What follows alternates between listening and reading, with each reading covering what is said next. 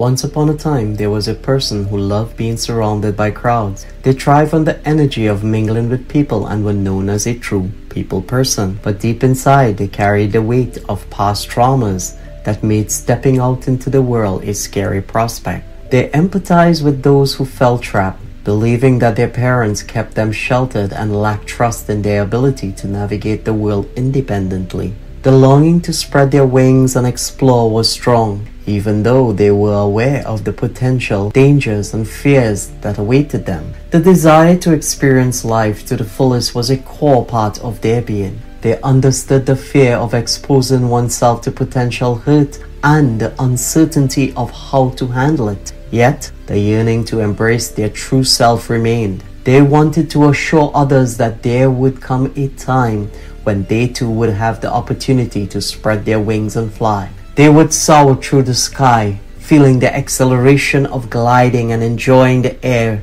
rushing through their feathers. But they also knew that not all breeze would be gentle. Storms and strong winds would test their wings, showing them their true strength. In the end, they wanted others to know that they understood the feeling of being ready to zoom away, to embrace their own unique journey the time would come when they would venture out, face the challenges, and discover the incredible strength within themselves.